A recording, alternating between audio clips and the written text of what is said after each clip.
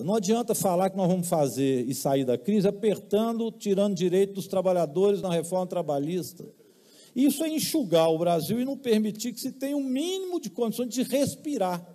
Então, o Brasil precisa acabar com esse ajuste fiscal, está na hora de retomar o desenvolvimento econômico.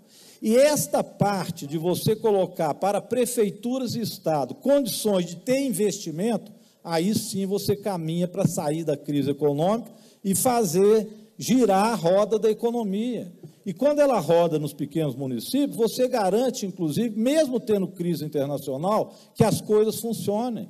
Os prefeitos sabem disso. O dinheirinho que entra do Pronaf, da Bolsa Família, da aposentadoria, do aumento do salário mínimo, não é isso que segura o município?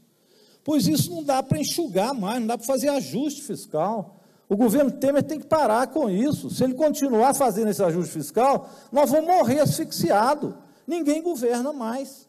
Não se tem um pingo para fazer investimento. Então, essa é a primeira observação que eu queria fazer.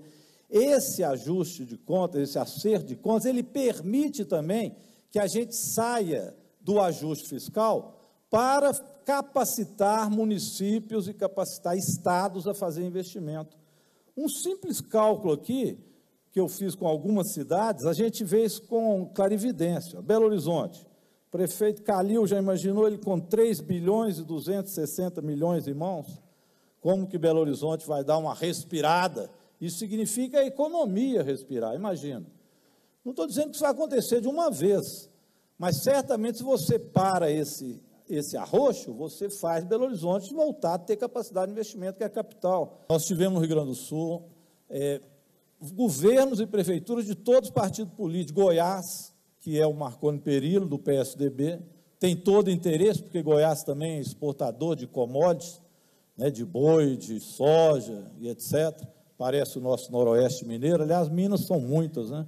Minas espelha mesmo o Brasil.